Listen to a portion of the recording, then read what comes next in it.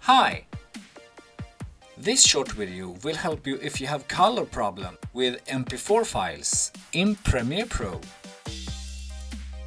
Your video clip has only green and pink colors. Go up to File, Project Settings and General.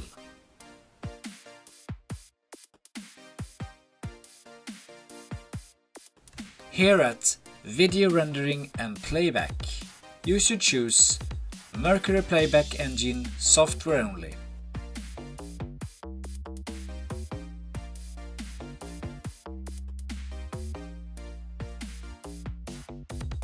Tap on Delete Previews.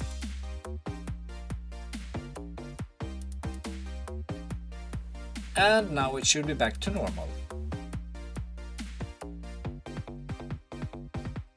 Good luck! Thank you for watching this video. If you get the help you were looking for, thumbs up. If you want more help in the future, please subscribe to this channel because then you will find me next time you want help here on YouTube.